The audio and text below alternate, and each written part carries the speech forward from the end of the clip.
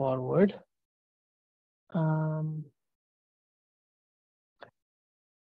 so in the last class, we basically talked about uh, in evidences of, we talked about evidences of evolution, where we started with comparative anatomy and morphology. And we talked about how analogous and homologous organs have evolved. And homologous organs provide us the evidence for divergent evolution in play. They are, they are a result of divergent evolution themselves. And what does it mean? It means that when organisms having similar kind of structure, anatomy, and which, which they inherited from common ancestors, when they adapt to live and survive and proliferate in very different habitats, using the same anatomy, they can achieve different functions um, in their respective habitats, right? And in that, we talked about uh, the four limbs of human and other mammals like cheetah, aquatic mammals, which is whale, and aerial uh, flying mammals like bat. But we know that since all are mammals and all have evolved and diverged from a common ancestors uh, long back in time. So we can see that the evidence are there in their anatomy, but using the same anatomy, they can now achieve different functions, right? An opposite of it is convergent evolution, where if we talk about the, the wings of a bird uh, as compared to a butterfly and a bat, all of these structures help them to fly, right? Because all of them have adapted to fly, but the anatomical structure uh, is very different. Like the wings of a butterfly and a, and a bat and a bird are all very, very different structures. So the, you, there, there you will not see a common like conservation or conserved anatomy or common ancestry, right? And after that, we also talked about uh, examples in, in plants, uh, for that matter. Plants also have these examples and evidences that tells about both convergent and divergent evolution. Is, is that part clear to you? Parker? Yeah. Then we went on to talk about um, uh, uh, furthermore evidences of natural selection that we talked about. Before that, we also talked about um, artificial selection and artificial breeding, which humans have been doing from a long time now in in, in dogs, cats, which, and as animals, and also in plants. With many plants, we have we have done that. And just to understand the same thing in nature, we talked about a study that was done in, in England over a span of around 70 years, um, which talks about evidences of industrial melanization and it supports evolution by natural selection as right this whole process. And what happened in this study was that around the mid 19th century in the 1850 a collection of moths was made and this time was pre-industrial uh, era. And there were more white moths white winged moths and which which we, which you can also say biologically as non-melanized moths.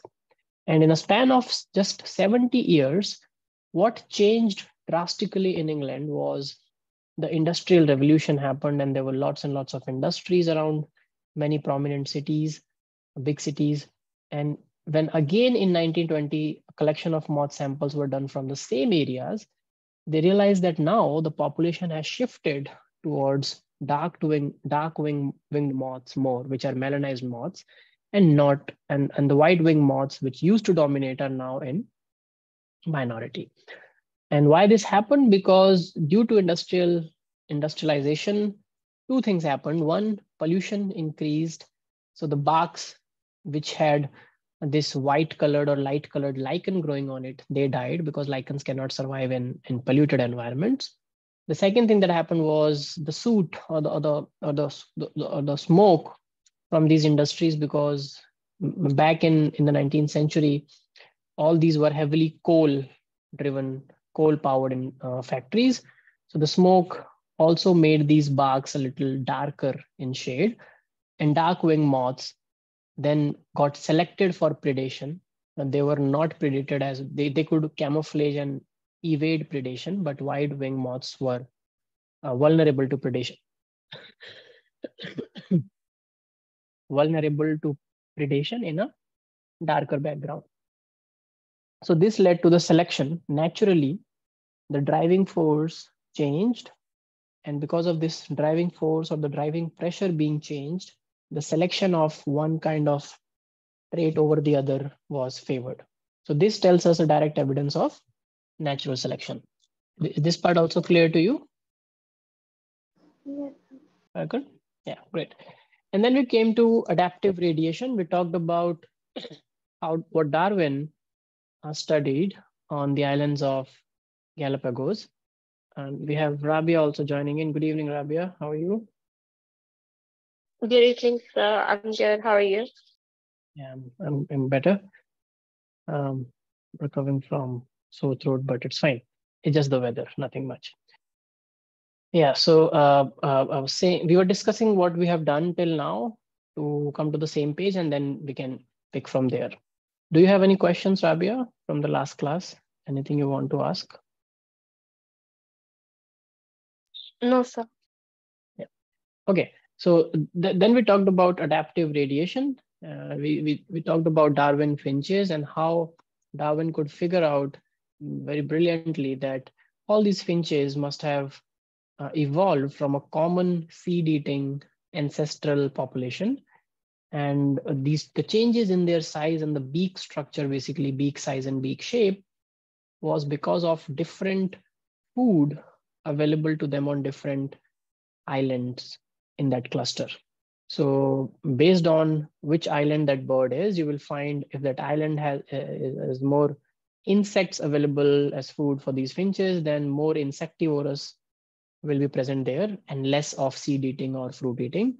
If island is more green with lots of fruit uh, bearing trees, then you will see more frugivorous or vegetarian finches and not much of um, insectivorous finches and so on. So this tells us basically that again, from a common population, uh, based on adaptations, the same species can radiate out in all directions of evolution and can new species can be formed from the pre-existing species with changes in their in their structure. And now here how it is different from divergent evolution is because in divergent evolution these are already very very different organisms. Like one is cheetah one is human one is a bat and one is a whale. So th- those are very very different organisms who at one point of time back in evolutionary history had a common ancestor.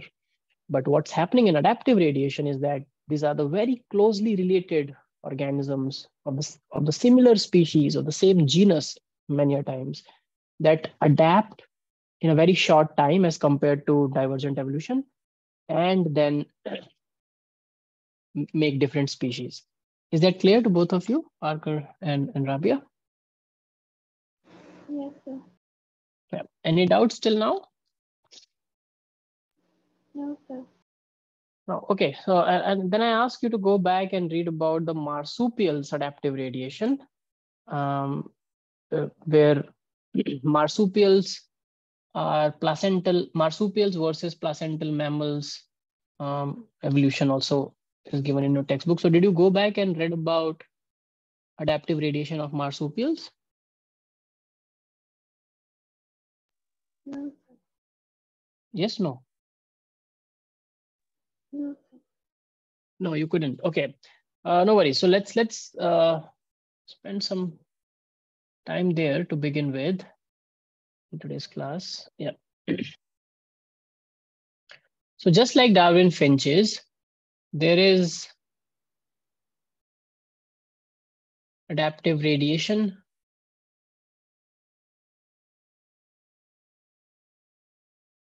of marsupials. Now, when we talk about marsupials, it simply means that the, the babies are born premature. Okay, so young ones are born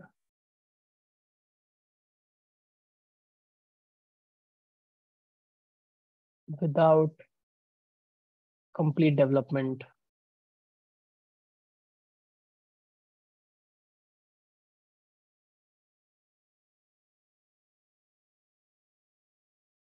okay. And then once they are born then they are kept in pouches. So these marsupial mammals have pouch which is a distinct distinguishing feature from um, placental mammals. Uh, so in placental mammals babies are born when they are completely developed and they just need to grow. They still keep developing to an extent but like most of the mm, development is done and then it uh, it, it, it is born. But in marsupials that's not the case so in, in marsupial radiation, which happened in Australia, from a common point, you will see a lot of different marsupial mammals, right? And all these are related because they are all like marsupial, but they are very, they have, they have evolved because of, uh, because of different um, shape they have evolved in different shapes and sizes. Like starting with organisms like you know kangaroo right? And this is the most common thing to begin with. You know kangaroo? Yes sir. Yeah. And then there is something called uh, like a koala bear. Right? Koala bear are, are the bears which are which are the um, what, what do you say? Sorry? Come again They're mostly called. Yeah, right. No, yes, but I was saying that koala bears are the bears which are the inspirations for teddy bears mostly for that that kids have. We often think that that's the normal bear, but that's that's the koala bear. If you if you look carefully, Iram has also joined in. Good evening, Iram. Good evening, sir. So we are discussing about adaptive radiation in marsupials uh, which I gave all of you as homework. Did you go back and read about it, Iram?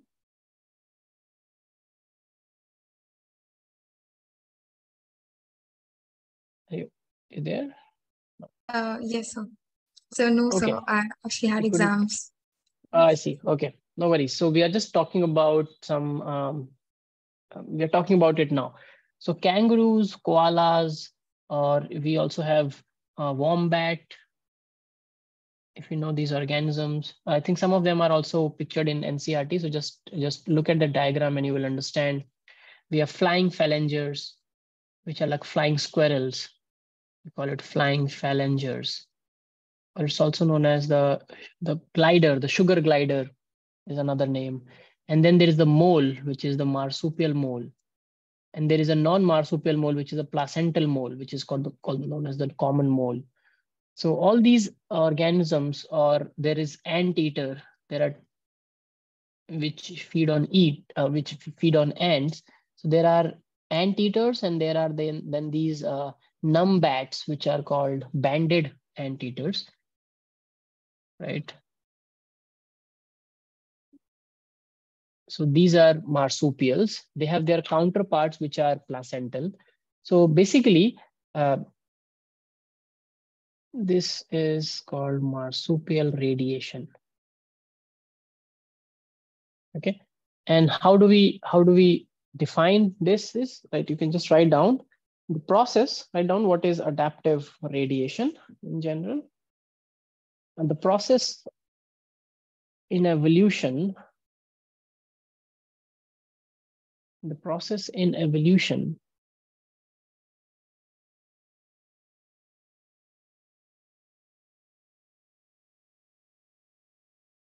of of different of different species different species forming in a given geographical area. Different species forming in a given geographical area.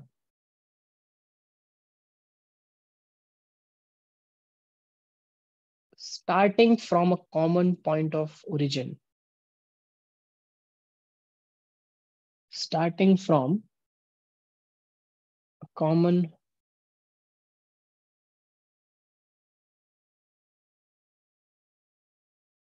starting from the common point of origin and radiating to other geographical areas. And radiating, radiating means, you know, going out to other geographical areas is called adaptive radiation.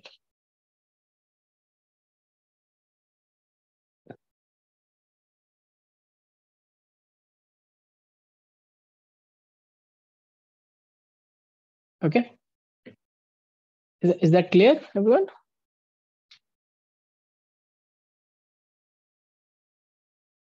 All of you understand that? Are you there, people? Yes, sir. Okay, perfect. Now, just think about it. Now, all these processes, it's not like one is happening and the other is not happening because all these are like adaptive radiation, um, mm, uh, divergent evolution, convergent evolution. These are all terms and names that we have given when we study each process in isolation. But in nature, it's not like in one area only this is happening and the other is not happening, right? In nature, all of them might be happening simultaneously at the, at the same place. So if you think about adaptive radiation, let's say there are adaptive radiations happening in multiple places with multiple organisms, then if we if we think it in a way, if multiple adaptive radiations are happening, then it will lead to convergent evolution or divergent evolution. What do you think?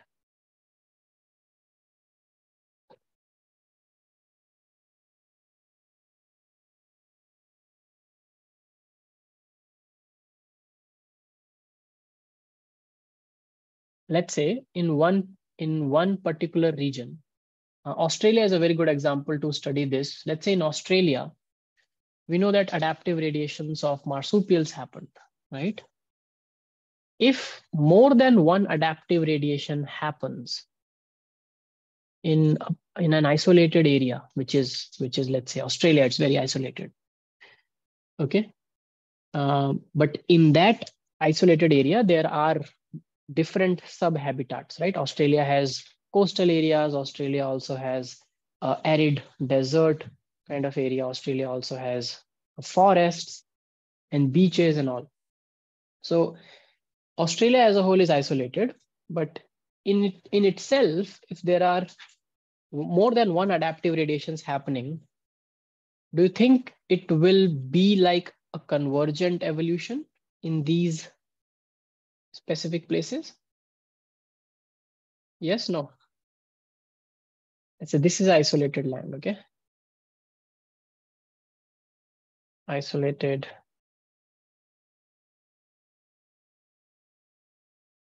geographical area. Now, this region is coast. This is, uh, let's say, forest. And this is the desert. Okay, closer to the coast. Let's say this is a desert, right? So there are different areas in the same isolated geographical area. Now, one adaptive radiation happened, okay? And because of that, you see different kind of organisms going from one place to another, right? And then another adaptive radiation happened in another, another set of organisms. Some, because of which some went here. So if I look at, and then the third one also happened, let's say, let's take three. So three adaptive radiations, one went here, one went here. Right? Now, this is A, this is B, this is C. But if I look at this region, then I have one, two, three organisms as a result of three different adaptive radiations. But all three of them will now adapt to live in a desert. Make sense to you? So group of organisms from group A during adaptive radiation, one came to desert and started, let's say it was a bird, okay? Let's say B was a reptile and C was a mammal. So a bird, a reptile and mammal independently in that same geographical area showed adaptive radiations, but because of which one of each ended up in desert, one of each ended up in forest, one of each ended up in a beach or a aquatic area. So now do you think that because one representative from each ended up in a desert because of rate, adaptive radiation, now in the those who are in the desert, there'll be a convergent evolution also happening in these because whatever you are, if you're living in a desert, you have to have some common adaptations that help you survive in a desert, correct? Does it make sense to all of you? And, and what Yes, could be sir. that one? And what could be that one thing if it's a desert? Then you have that you have to tolerate low water. And then your mechanism, your, your bodily mechanisms will be like to conserve water and be able to live on very low amount of water and be able to store water in your body right? Not wasted it. So you will all the desert animals they don't pee much. Because if they will keep peeing they will keep losing water. So whether it's a desert rat or a kangaroo in a different part of the world or something living in sahara like a camel. So you won't see that those who are in desert they are just peeing very often and peeing a lot because they won't like to lose water. Instead all of these organisms have evolved mechanisms which are similar to conserve water. Okay similar in, in, in one or the other way. For example camel stores water majorly in the body in a hump like area. Other organisms which are smaller also store water and do not defecate it. They will not sweat a lot right? So they will not use sweating as a mechanism to control their body temperature a lot. They will be able to tolerate higher temperatures. They will not come out and forage and you know um, wander around during the day when the temperature is very high. So most of the animals will either come during the dusk or the dawn or if they are nocturnal during the night. That protects them from direct heat. So all these adaptations whether they are behavioral physical physiological it will be common in multiple different organisms right? So don't you think that that becomes a convergent evolution then?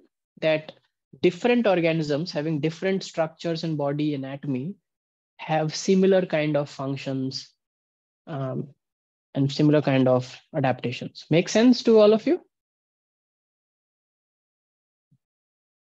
Yes, sir. Yes, sir. but how did these three organisms ended up in desert? Because of adaptive radiation in the first place. Different more than one adaptive radiations does that make sense also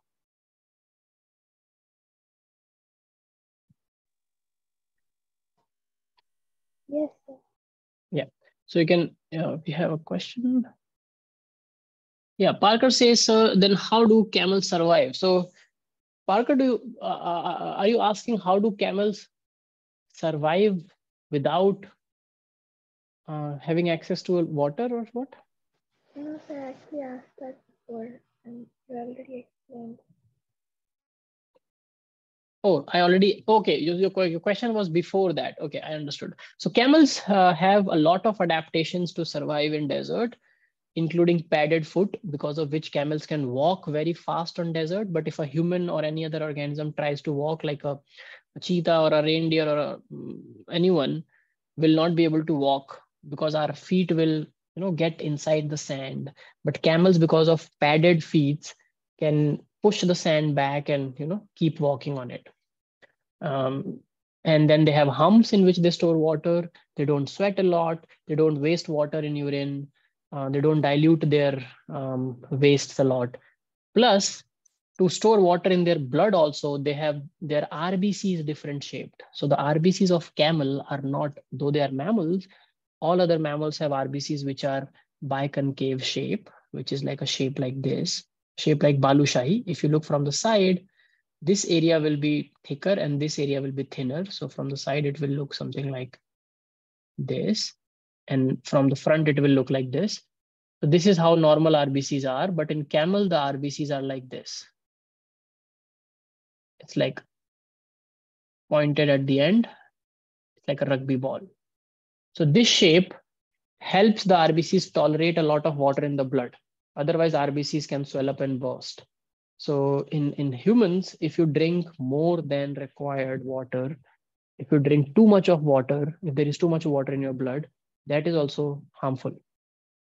In fact, that can cause a lot of problem. Okay. So we have to drink water, but we have to drink within a limit and more than a threshold. Camels can drink in one go as much as around 100 liters of water now, 100 liter of water, if they drink in one go, that's an ad adaptation. Where do they keep all this water without urinating? They keep it in the blood. The blood volume becomes more and blood becomes very thin and they keep it in their hump stored. So all these are adaptations. That's how camels can survive. And a buffalo or a cow or a goat or another mammal cannot survive that much in the in the desert. Make sense to you? Parker, does that answer your question? Yes. So, yes, yeah. Uh, so uh, let's say an organism is migrated or transferred to a deserted region. Mhm.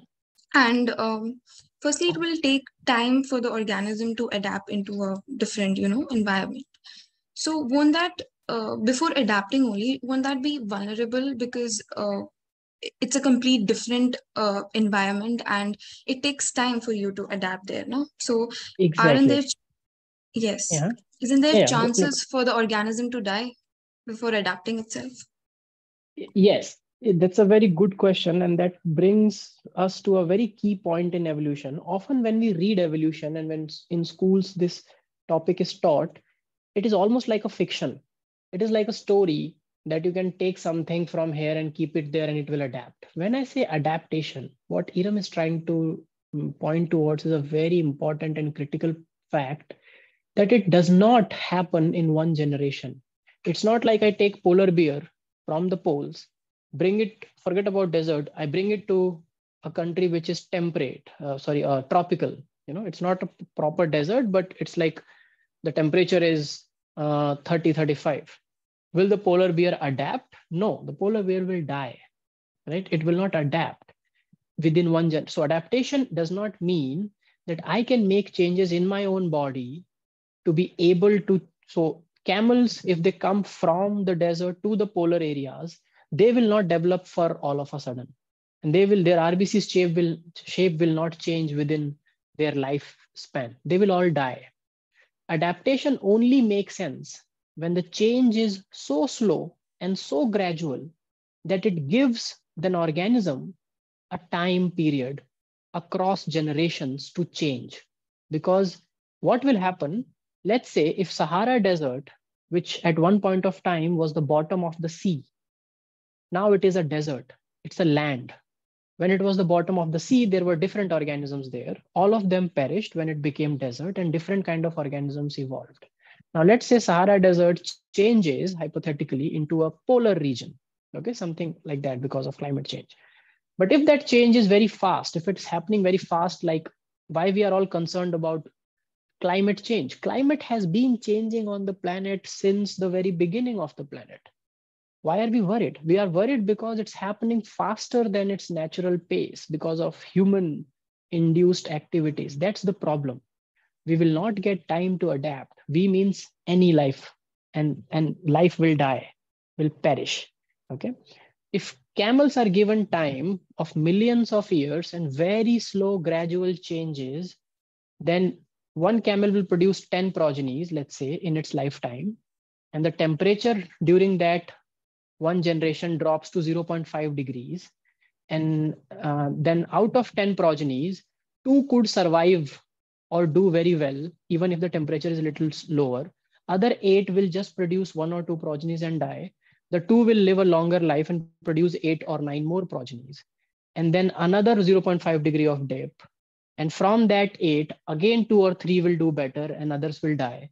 And this is how uh, in 10, 20, 30 generations, you will see a camel, which is very different from the ancestral population from which it all started, the change started. Do you understand that, Iram? Does it make sense to you? Uh, yes, sir. So this is how adaptation, yeah, yes, yeah. So this is how adaptation works. It's not like if I take an organism out of its habitat and put it to some other habitat, it will adapt. It will not. It might survive if the if the range in which the organism can survive is broader. For example, we all know that we have we have cheetahs being introduced in India from Africa, right? You, have, you must have heard of that thing. Yes. That there have been cheetahs introduced. At one point of time in India, there were cheetahs, but cheetahs were extinct because of you know extensive hunting, and then humans started shortening the forest covers, and cheetahs don't do very good when they share the territory with other high, you know, other um, big cats like um, um, lions and tigers, which are more ferocious than cheetah. Cheetahs, to be very honest, are like cats of the big cats. You know, you, how many of you know that cheetahs can't even can't even um, like roar? They can't give a roar like tiger and lions. They meow, like the the voice is more like a cat.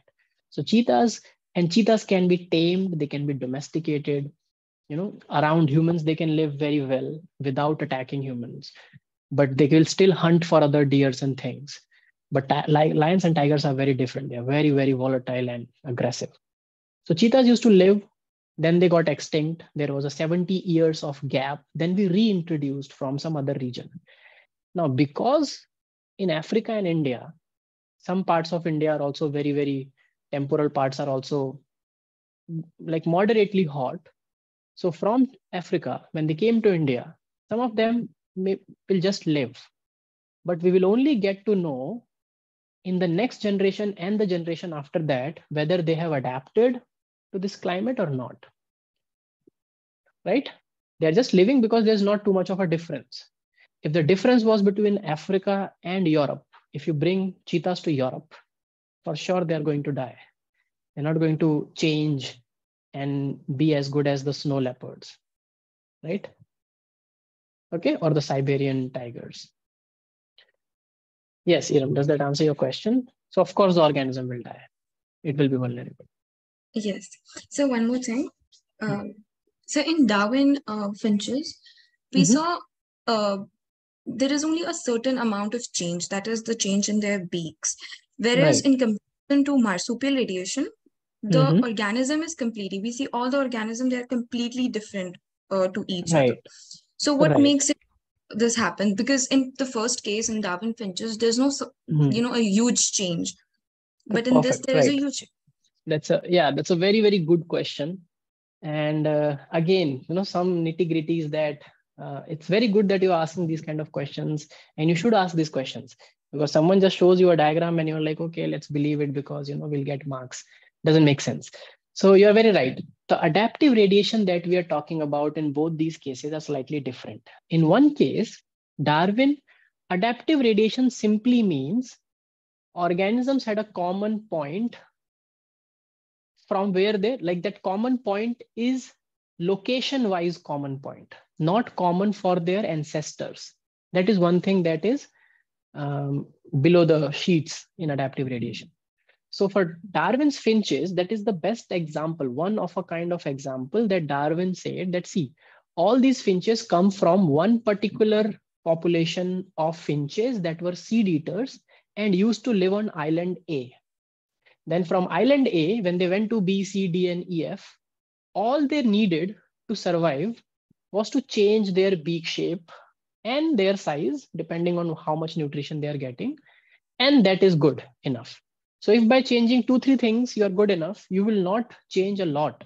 Like a bird will, will not like to become something entirely different and it will not become something entirely different without any need, right? So the need there got fulfilled by just changes, subtle changes in beak and size. Yeah, so that's that's still adaptive radiation because the they radiated out to different geographical locations and they adapted uh, accordingly. In case of marsupial mammals, again, the adaptive radiation means that they, they, they radiated from a common origin in terms of geographical location. All these organisms used to live in a common tropical region, right? So they, they are all very different organisms. One is a wolf, another is a cat, another is a kangaroo, one is a wombat, rat, anteater, mole, squirrels, and bear. It's not like all of them came from one and uh, one organism and that we are calling as adaptive radiation. No, they all came from some similar habitat where all of them were still what they are. But when they adapted to something like Australia, all of them, then they showed changes accordingly, just like the finches. And one of the change that they all showed in their physiology and anatomy was that from placental mammals, they became marsupial mammals. Does that make sense, Iram? Mm, yes, sir. Because that was important to adapt. And some of them are also very closely related also, like the like the Tasmanian wolf um, is very, very closely related to um, the, the, how many of you have heard of Tasmanian devil there's a term called Tasmanian devil in organisms. Anyone of know about it? Have you heard of it? It's an extinct. Please repeat. Tasmanian devil, the Tasmanian tiger. Have you heard of it? It's an extinct organism now. It was, scientific name was thylacine. So the Tasmanian tiger, which you, sorry, the Tasmanian wolf that you see in your NCERTs is actually um, it is a carnivorous marsupial which is which was also known as Tasmanian tiger, and it is extinct. So so we yes. Tell me. The Tasmanian devil. I'm just looking. I'm just watching this in the Google. It's it kind of resembles to marsupial mole, more of a marsupial mole than Tasmanian wolf. Oh right, right. Sorry, sorry. Tasmanian tiger. I meant not Tasmanian devil. Yeah, Tasmanian devil is a uh, yes, it is a dasyurida. Yes, yes, right, right. Tasmanian tiger, I meant. Okay. Tasmanian devil will look like Tasmanian mole, right? It is. You're correct. Thank you for correcting it. But Tasmanian tiger. So Tasmanian wolf is actually Tasmanian tiger. And we know that wolves, what is the common thing between wolves and tigers? Is there anything common between what is a wolf?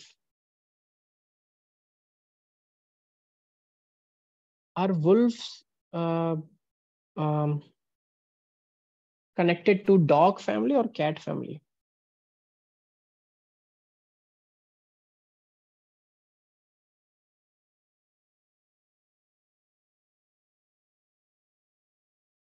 How many of you have seen, um, what is the closest thing that looks like a wolf around, like things that you have seen? I'm sure that I'm not sure if you have seen a wolf in your life or not. I have not seen a wolf in my life, only pictures. more of a dog. Exactly, because the very because close of, thing to yeah. wolf is German wolf is what German Shepherd, right? So wolf actually is a is a canid. Okay, it's a uh, it's a Canis lupus. It's a canidae. And tiger, when we say tiger, we are talking about cats, right? They are felines. So felines and canines are two different um, categories of animals. But when they saw Tasmanian tiger, they call it Tasmanian um, tiger in the first place. But then they realized that Tasmanian tiger is actually, it's not, whether it's a cat or a dog, you can't, so because its other name is Tasmanian wolf. So one name says that it's like a wolf another name which is like a dog the other name says it's like a cat which is like a tiger right? So that, that's the thing about thylacine. Recently, again, thylacines, thylacine came into a lot of limelight because for the first time, scientists have ex extracted RNA out of thylacine's bones, like fossil. So these organisms, many of these that you see, which were result of adaptive radiation in Australia, the marsupial radiation, are not no longer present, right? But we know that this radiation, this adaptation happened because of geographical location. So koala can't live in, because they are bear, they have to climb or be in like trees. So they cannot live in coastal or desert arid regions where there are no trees. Anteaters cannot live in, uh, again, cannot live in coastal areas because there won't be ants near the water. So they will only live where the ants are present, like a, like a forest. Similarly, kangaroos will not live in a forest where you will find a lot of anteaters and koalas, but they will live in little arid regions where they can easily jump because their movement is they jump using their hind limbs. So they need grassland kind of regions which are not obstructed by trees. Otherwise, it will be difficult for them to move around. Sugar glider, which is a flying phalanger, again, it won't live in that part of Australia where it there will be no trees because it glides from one tree to another. It can't live on coastal areas or where the kangaroos can live, but it can live where the koalas can live, right? So they are going to different geographical locations, but since they are all marsupials, they will adapt differently. But what will be the common thing is that they are marsupials. They are not mm-hmm. placental, they are marsupial. They will have their babies born without complete development, and most of them will have pouches, intact pouches. Does that make sense? You know, it's a good question. Does can yes. could I answer your question? Yes. Yes. Yeah. And if more than one adaptive radiation happens in in an isolated geographical area, then it we can call it a convergent evolution. So multiple convergent evolutions also happen. So you can write down. Um,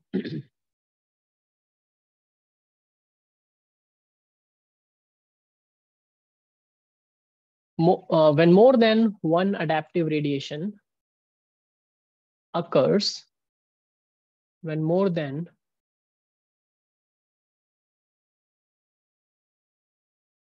one adaptive radiation occurs,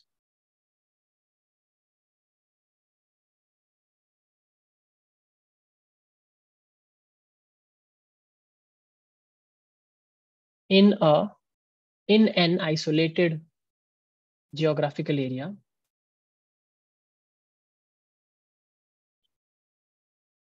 In an isolated geographical area,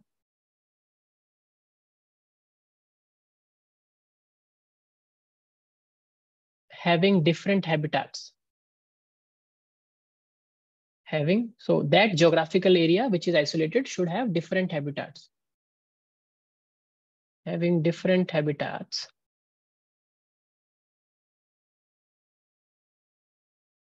Then it leads to convergent evolution.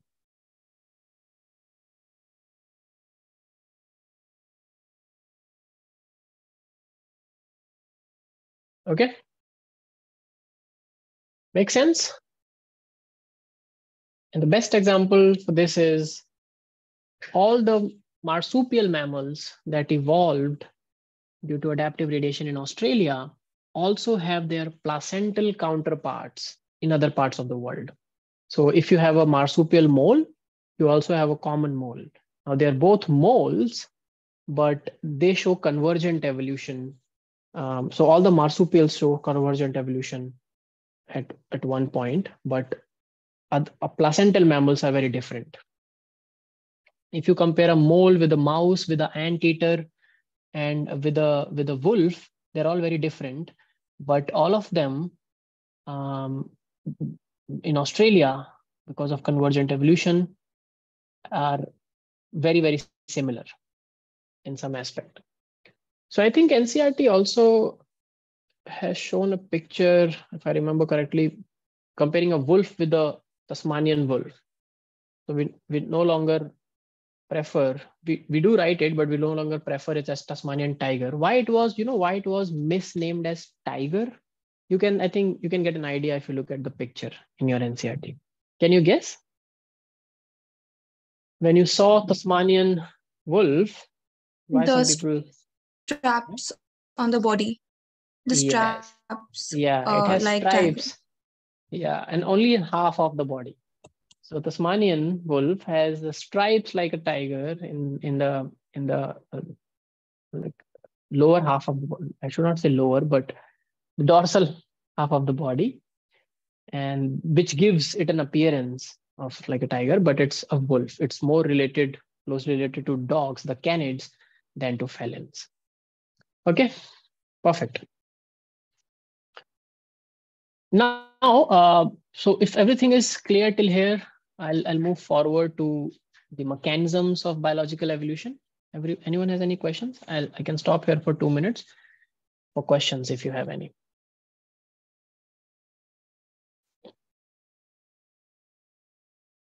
No?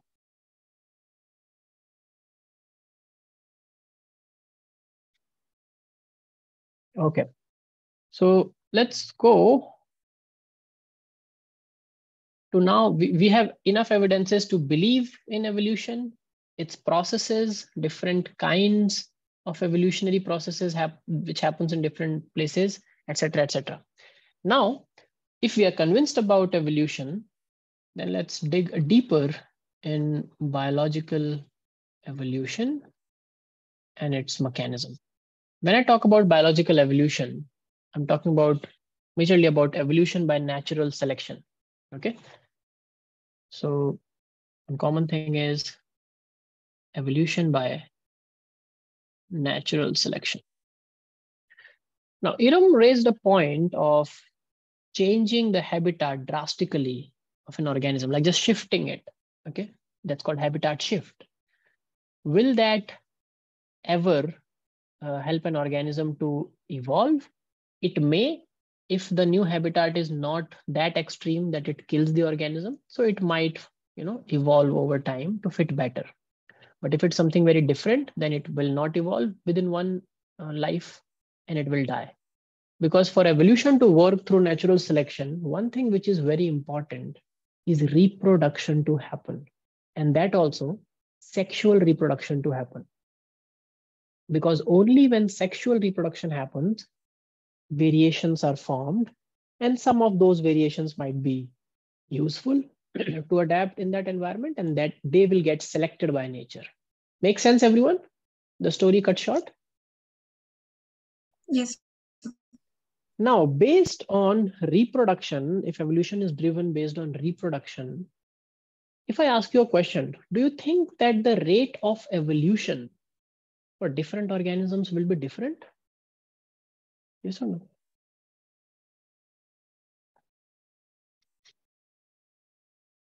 yes no? Do you think that rate of evolution will depend on reproduction? Of course. And if it depends on reproduction sexual reproduction then organisms that will reproduce faster and produce lots and lots of progenies. Don't you think that they can evolve faster than organisms who can evolve who can reproduce slower and uh, also produce less progenies? Yes or no?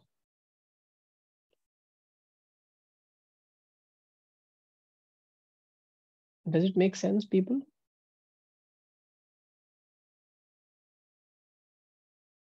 So if i if i take an example of a unicellular yes parker tell me.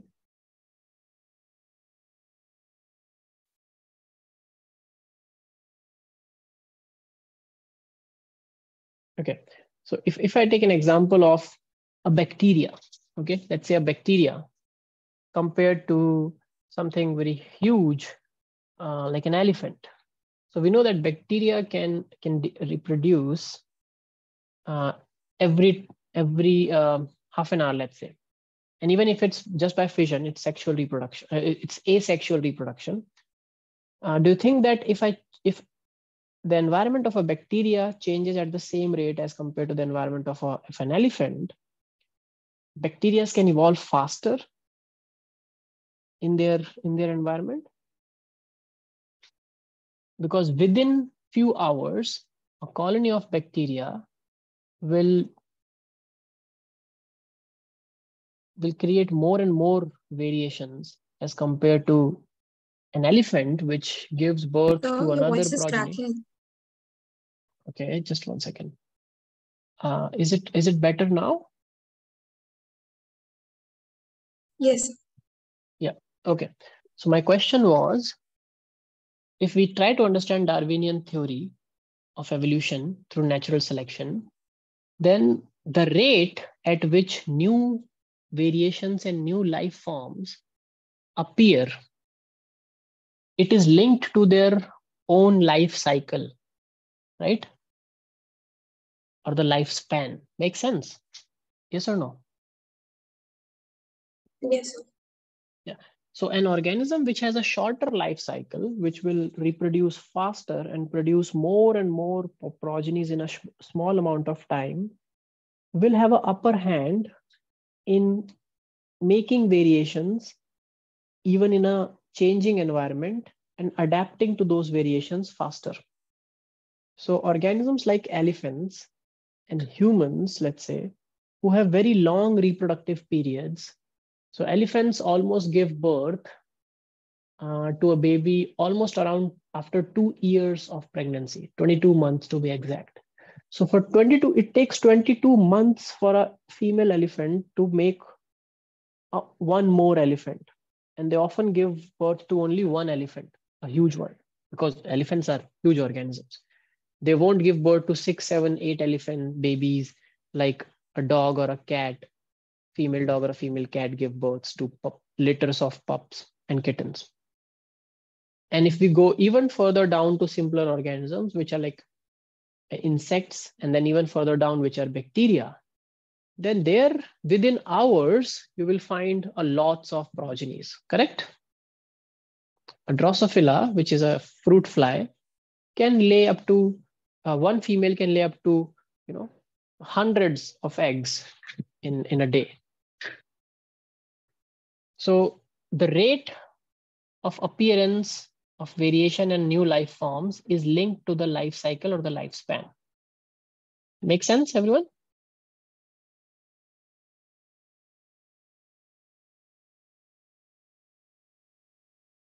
So you can write Yes. down, write down this thing.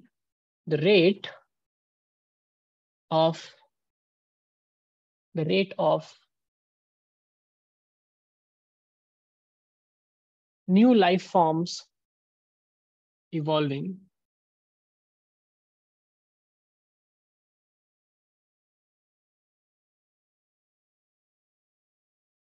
is linked to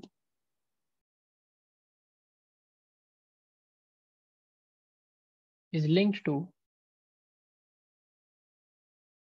the life cycle or the lifespan of the organism.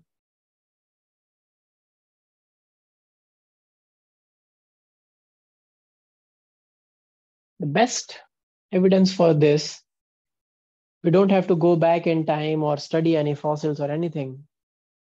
In just last four years, three years, I think, 2019, 2020 to 2023, we have seen so many different variants of COVID virus evolving, haven't we? Right? It all started with one variant. Then it often it we, came to a point where almost every month it was reported that a new variant is found in UK, another new variant is found in Europe, a new variant is found here and there, right? So viruses being so fast in their replication when they are within the host, they just have to hijack the machinery and just make copies of them, millions and millions of copies within hours they can do. Of course, their rate of evolution will be faster. But here is the catch. They are not doing sexual reproduction, are they? They're just copying. It's like photocopying. One virus is just photocopying the another. And from one template, you can photocopy thousands and millions. But still they are evolving. How? Anyone can answer that? You know the answers, people. Bacteria, viruses, they don't do sexual reproduction. They don't find a mate, use them. So that part wasn't clear. Could you repeat? Yeah. So the question is, we saw viruses evolving. We saw the COVID virus evolving in these last three years to make multiple different new strains, right? Some strains are more lethal than the other. Some are more transmissible, more infectious than the other, etc., etc. But the question is, if you think variations can only come from sexual reproduction, then these organisms, the bacteria and the virus, are not doing sexual reproduction. They are just simply photocopying from a template, making millions of copies just from a template. It's just asexual. So how are they getting all the variation and they are evolving? The same can be asked for a bacteria. 70 years ago, we could kill almost all bacteria with penicillin. Now we can't. They are resistant to antibiotics. How is it happening if they are not reproducing through sexual reproduction? What do you think, people? Was that clear, the question, Iram and Parker? Yes, sir. Yes, the question is clear. Yeah, think about it. Doesn't it tell you that something is missing? It is, see, let's see what rules can be broken and what can't be. Uh, do you think that viruses can do sexual reproduction? Like we don't know, but they are doing sexual reproduction. No, right? Because viruses, the way they replicate, they are they are almost non-living. They're like non-living outside the host. Inside the host, they just replicate through using host's machinery to replicate their own genome, DNA or RNA. That's it. And they make the protein using the host machinery, they assemble it, that's it. So it's like a car factory making parts and assembling back to make a car. That's not sexual reproduction. So clearly, sexual reproduction is not the only method through which variations can come up. Yes or no? This is the only possibility. Because organisms that do not reproduce through sexual reproduction, but can reproduce very fast, also evolve very fast and change very fast. Does that make sense, Iram Parker? Yes. So if sexual reproduction is not the only way to to make variations, what is the other way? How can an organism produce variations if not through sexual reproduction? We have talked about it a lot. It is a common thing that happens in biology.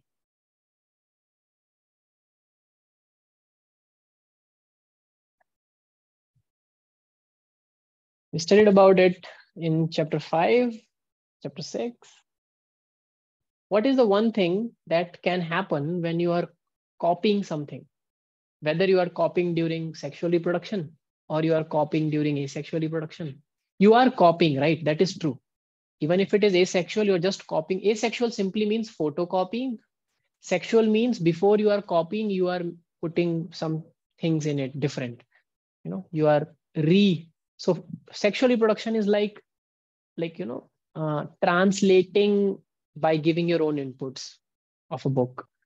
And So, Yeah. So Yes, maybe yes, yes. different mediums can be. mediums. Uh, What do you mean by mediums? Uh, so like we- we've seen in um, molecular basis, the Griffith experiment, we have given the bacteria different mediums to survive. One it wasn't able to survive in one medium, whereas it could in the different in, in the other medium. Uh, yeah, in Griffith's experiment, it was it was not the medium, but it was the strain of the bacteria itself. It was about transforming principle where there was a R strain and there was a S strain. R strain is not virulent, S strain is virulent, and then something goes from the R into so something goes from the S into R that makes R also virulent. So that's about the That's genetic it. material. Yeah. So sorry, not the Griffith experiment. I think some experiment. I just don't remember. I think you're, you're talking about uh, the Macri uh, Martha, sorry, uh, Avliard Macri experiment, where they basically took forward Griffith's experiment. Oh. Every. MacLeod and McCarty's experiment, but that was again not about um, the medium. It was about the molecules, the extract from the cell itself. That which is the that was the hunt for genetic material. But this is a very simple question. I just asked it in a in a convoluted manner. Parker says mistakes, and that is the right answer. Parker, can you give me a logical term for a more biological term for it? What do we call mistakes that happen during copying of genetic material? Come on, come on. I was copying a genetic material. I was just reading A, T, G, C, G, A, T, T, C, C. By mistake, at one place, there was A. So I should have put a T, but I put a C. What is this called? That's called a mutation, right? Make sense, people? Mutations Yes. are another way by which variations can come up in a genome, even if it is not sexually reproducing. So viruses replicate so fast that they don't care sometimes about each and everything getting very, very like um, proofreaded and checked thoroughly. Does not matter if one base here or there gets, you know, re- read and put wrong. It's okay as far as you're able to assemble a new virus. It's fine, but that will help the virus to make variations. And when the immune system will try to fight one kind of variant out, the other kind of variant might survive better, and that helps. So mutations are another way to evolve in nature. And taking both these things into consideration, most of the lower organisms rely on mutations because they do not undergo sexual reproduction, but they reproduce really fast, super fast, as compared to higher organisms that undergo reproduction through sexual reproduction. And they mutate slower because, of course, they are reproducing slower. Okay. So just the example is that a colony of bacteria, let's say it grows on a given medium, okay, um, where you are giving it a variation of food to eat from, and uh, um, then you change the medium or you take that bacteria and put it on a medium where uh, they can only survive under one kind of a condition. So in some time, you will find that the population of the bacteria some of them will get selected other will grow but some of them who are selected because of changes in their genome due to mutation they will outgrow and over the time with accumulated changes they can become new species so this will happen within days for a bacteria but it can take millions of years for a bird for that matter because a bacteria and a bird are very different in their reproduction rates and also very different in their mutation rates and the rate at which their genome changes. So for virus, it can happen within a day. A new variant can come within a day. We will only get to know of it when the variant spreads. So every day during the COVID phase, there were variants made, but only those which were selected and were able to proliferate were being detected by us. Others will just die. Make sense? Yes, sir. Perfect. So uh, th- this is how uh, the, the the evolution through Darwinian theory depends on the rate of reproduction, which is life cycle and life span also. Okay, so you just write down a running text that a, a, a colony of bacteria can evolve into different species, a colony of bacteria can evolve into different species under selection pressure. So we have, and of course we have to give some pressure. Otherwise, no organism would like to change. Okay.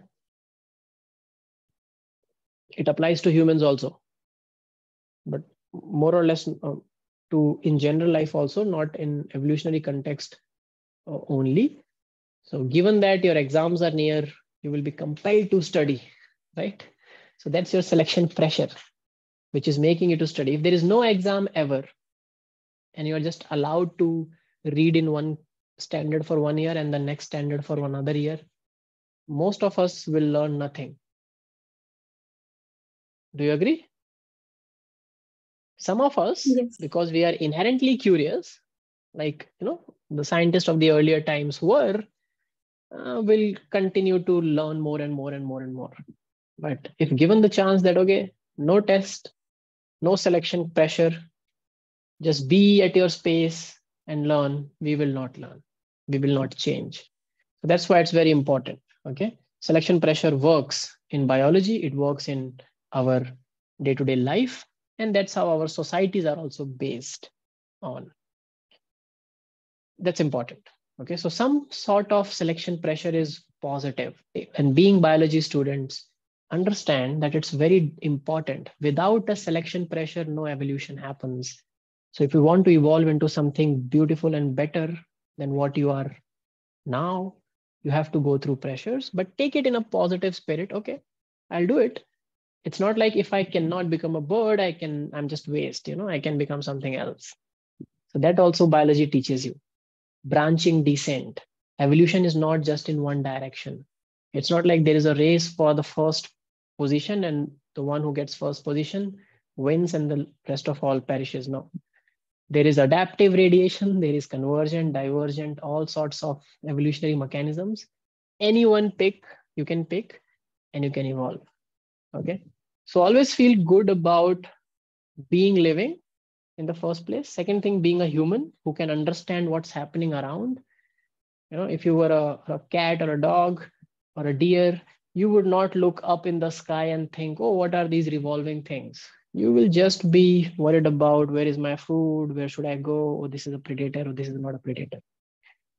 Right? Those are also living systems but we are more fortunate to have evolved to, to have born as a human and be of the race. Perfect. So having said that let's talk about these. So we'll talk about natural selection which depends on rate of um, life cycle and mutations. Second is branching descent. Branching descent says that evolution is not in a line. So many of you must have seen a picture which is a misrepresentation of human evolution where there is a there is a, a kind of a organism with a bent body then it tries to become erect and is erect and then becomes a human right? Yes. they say and they say evolution of man or human something like that.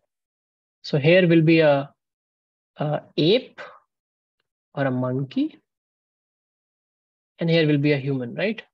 So this gives a misconception to students who study evolution that oh humans evolved from monkeys that's not true. That's not entirely true. Again, the same logic. If humans evolved from monkeys, they shouldn't have been monkeys by now. All monkeys should have been humans. But monkeys and humans and gorilla, chimpanzee, they are all um, when we when we say we are primates.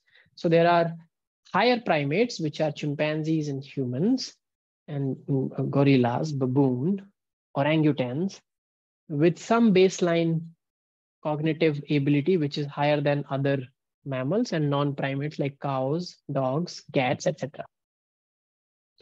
So, and one of the characteristic feature of primates is that the ability to either partially or fully stand on the, the hind limbs or the hind foot, the appendages which are at the back, we call it foot.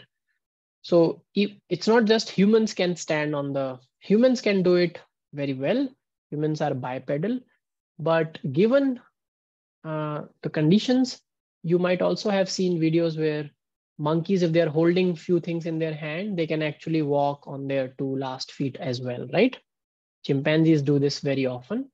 So in zoos, there are multiple videos where chimpanzees, when they're running, if it's raining, the way we react to rains, they also react to rains. They find a shelter. Or some of them, you know, just uh, sit in the rain and enjoy the rain. And when they find the shelter, they try to cover their heads with something they are holding in their hand. And they, if they're eating a food, they will pick the food with the other hand and they will start running on two foots to find a shelter. So bipedality also evolved. Uh, and I think this is what the picture wants to tell you that from, from a curved spine, we had an erect posture.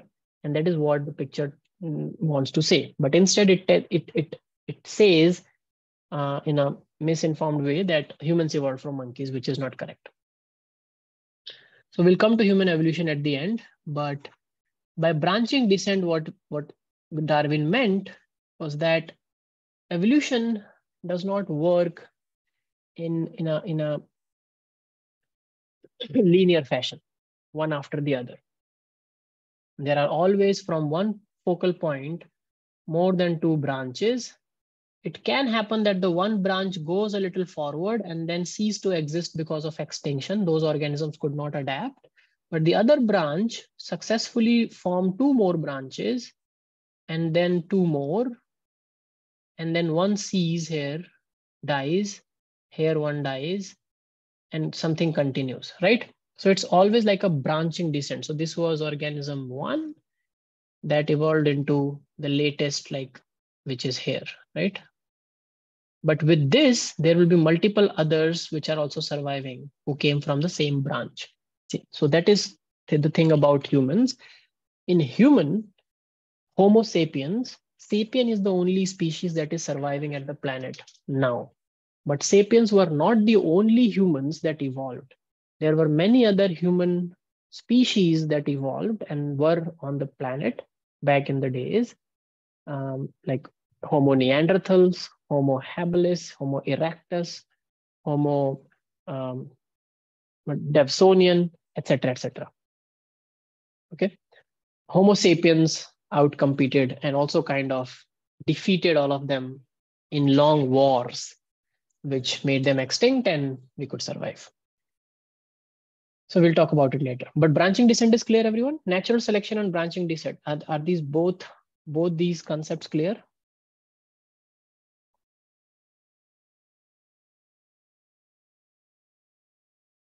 Okay, perfect. Now, before Darwin, I want you, I'm giving you some homework today. You have to go and read about Lamarck. It's called Lamarckism, the theory of which was given by, so no, it was not just Darwin who was a thinker at that time who was trying to find out answers. There was another naturalist who was from France in Europe. So Darwin was in England. He was in France and he was also a naturalist and he was before darwin who thought about evolution of life forms and he came to a conclusion based on his observations that it is the use and use of organs or abilities that but he gave also examples so he took giraffes as an example in Lamarckism, and he said that, and it was so his start point and end point was correct. What was the fault was his assumption for the process. So we know that the ancestors of giraffe were not long necked. They had very stunted neck. In fact, the ancestors of camels and giraffe both were like goats only like if you see a progression if you see a buffalo buffalo does not have a cows they don't have very long necks but when you go to goats so goats have slightly longer neck as compared to their body. Uh, and if you compare them with sheep which are very close to them again sheeps don't have long necks. Then you go to uh, organisms like you know llama alpaca they have longer necks. Then then it's giraffe it has a very long neck. So the ancestors didn't have long neck. fossil records show that, but current organisms have it. So Lamarck thought that the way giraffe eat, giraffe always likes to eat leaves from the trees, like they, uh, but their ancestors who had who had shorter neck, if you'll see organisms with short neck, what do they eat? What do cows and buffaloes eat?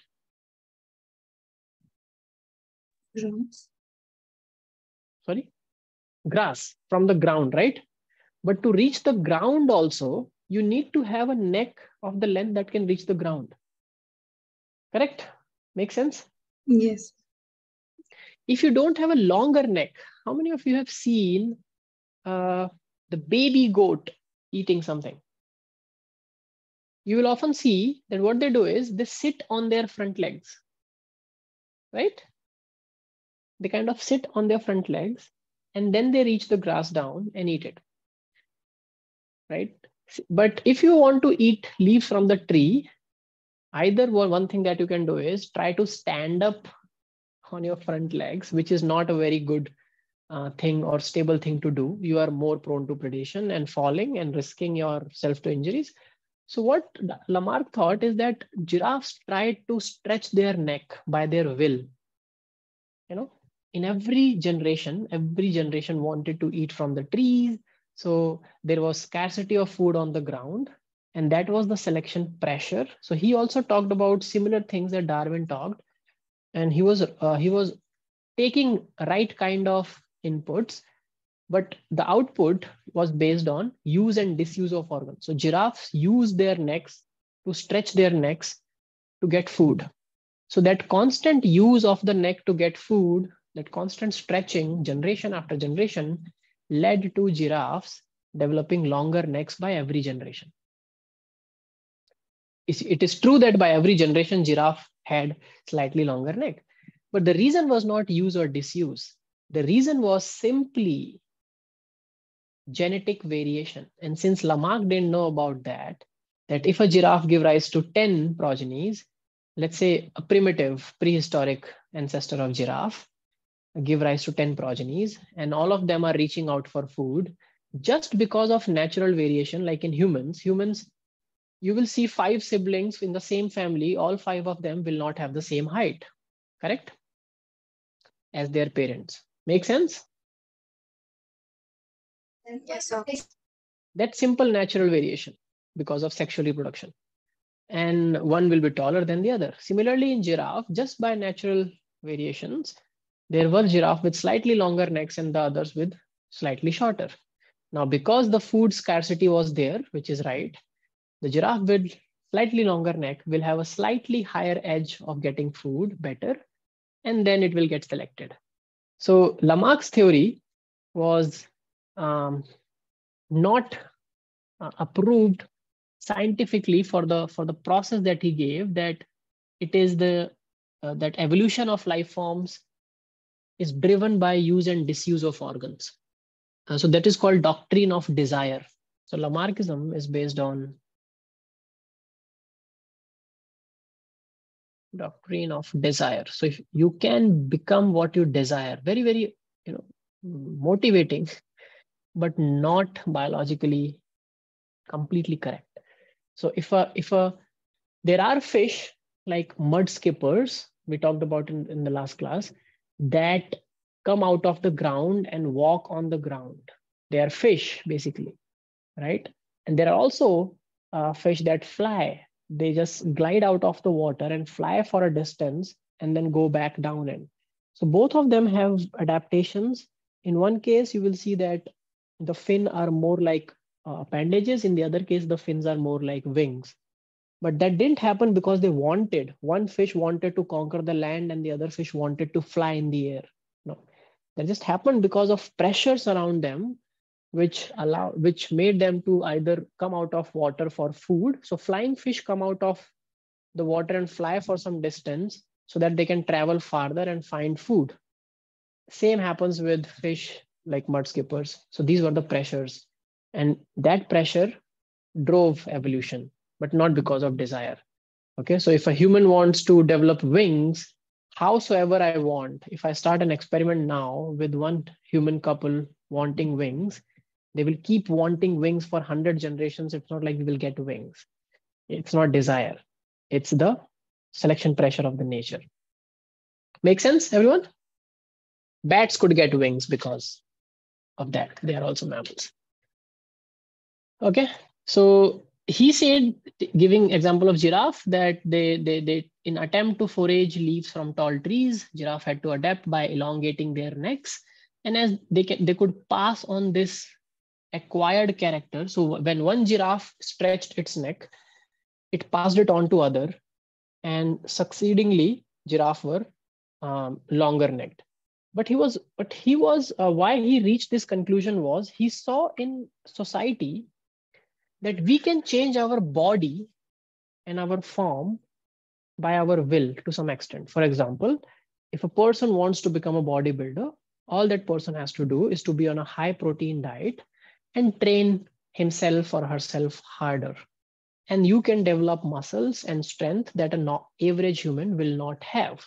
If an average human wants to become a gymnast, then he will he cannot bulk up the body. He or she cannot bulk up the body because a bulky body cannot do gymnastics. So that person will practice more and more flexibility and agility and can will be able to bend its body almost like in a circle. So you might have seen gymnasts who can turn their whole body in a circle. You might also have seen bodybuilders whose body is like a rock. Make sense? Now both are humans, but because they desired to do something with their bodies, they could change their form to these two extremes. Make sense, everyone? Yes. But Lamarck, so, um, Lamarck thought, and he was correct in thinking that, that, okay, if humans can do that, why can't giraffes and animals, which is still acceptable. Okay, let's say they did it. But a bodybuilder cannot pass on that character or that trait to its progeny. So it's not like once I have built a body, a muscle, I have become the rock, I can pass it on, and my next generation, without doing anything, will be rock to begin with. They will again be born with the baseline thing. They will have both ways either to become a gymnast or to become a bodybuilder again. So we cannot pass certain characteristics, which are called acquired traits, through our uh, reproduction, re reproductive pathways, like our um, gametes. Like intelligence cannot be passed on. Uh, like if I am learned in one kind of skill, my progenies will be born with that skill is not true, right? Same is with the form and shape of agility, flexibility, strength of the body. So it's not like a, a doctor's, we often have these myths.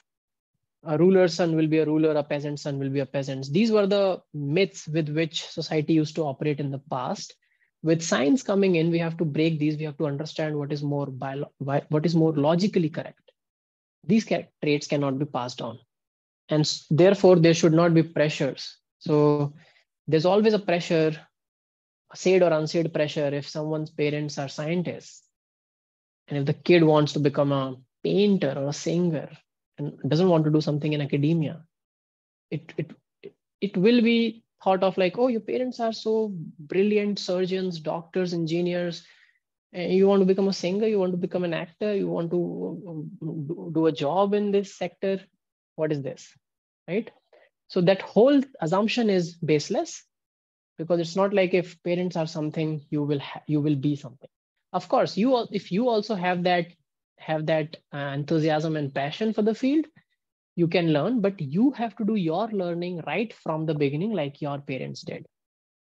Does it make sense everyone so nowadays, we know that this conjuncture of uh, Lamarckism is not true, and hence it is uh, rejected as the major driving theory of evolution.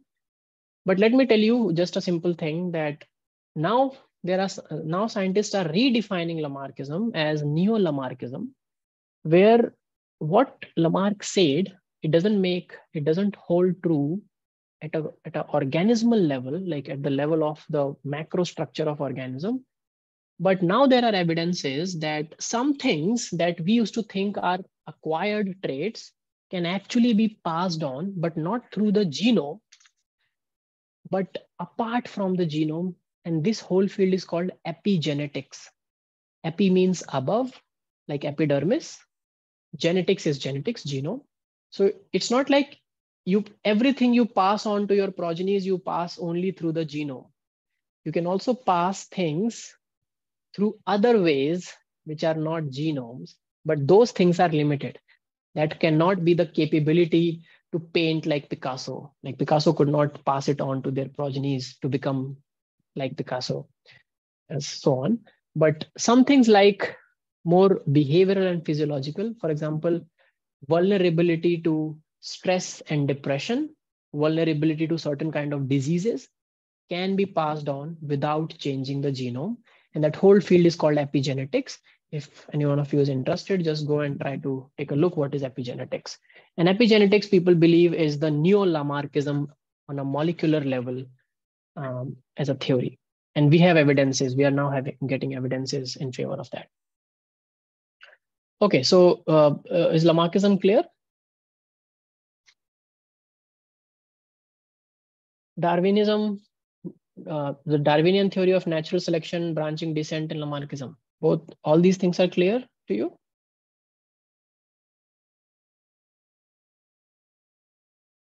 Yes? No? Yes. Okay, perfect. So we are out of time. So let's stop here. And as we had one class in reserve, so I we, we might have to use that.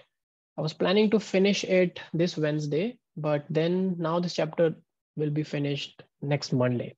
So two more classes and this chapter is done. So in the next class, I will talk about saltations, uh, mutations, saltations, founder effect, and Hardy-Weinberg principle. And then in the final class, we will talk about overall evolution of plant animals, including humans, okay? And then it will be done. So please bring your questions.